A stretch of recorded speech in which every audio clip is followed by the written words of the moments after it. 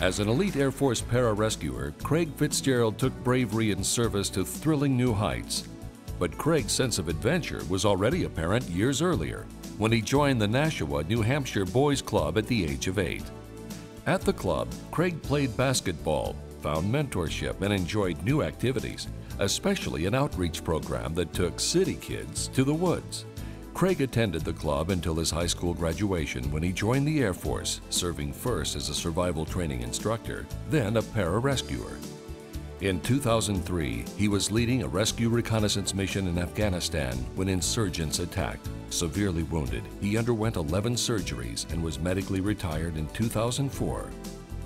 Wanting to give back to other injured veterans, Craig began planning an ambitious fundraiser in 2006, he and a friend hiked the 2,200 mile Appalachian Trail in just four months. The hike generated more than $150,000 for the Coalition to Salute America's Heroes, an organization that assisted him after he was wounded. Ladies and gentlemen, Craig Fitzgerald. I just want to say thank you very much to the uh, Boys and Girls Club of America. You look at the front row here and you look at the people who have been inducted in the past, the caliber of individuals that get inducted into this. And I mean, they're household names. And to be um, given the opportunity to be a part of that group, it really means a lot. So I appreciate that. I also uh, would like to thank my friends and uh, former teammates.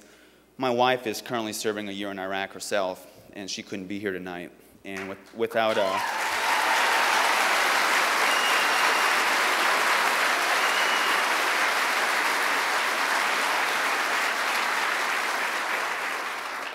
And uh, the thing about pararescue and survival and evasion in general is just the brotherhood that, um, that comes along with the job. And these guys, without hesitation, despite averaging 250 to 300 days a year away from their families, came out to support me, and I really appreciate that. But when you spend a lot of time in the hospital, you, you really, and you, and you face a tough obstacle in your life like I did, it really forces you to reflect back on your life. It really forces you, um, in that reflection, to come to appreciate the individuals, and in this case, the organizations that have had a very, very profound impact in your life.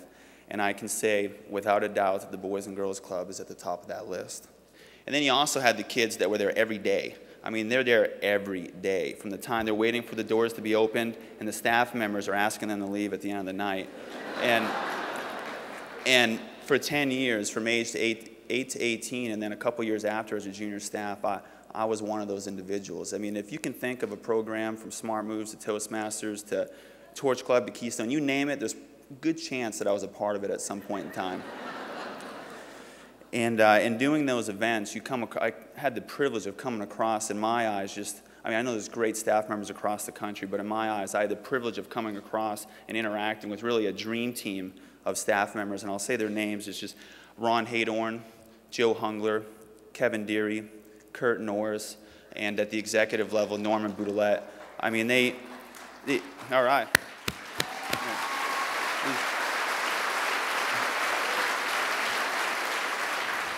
I mean, these individuals, just as a young child, I really, really looked up to them. I looked up to them, and I don't think they'll ever realize how much I looked up to them.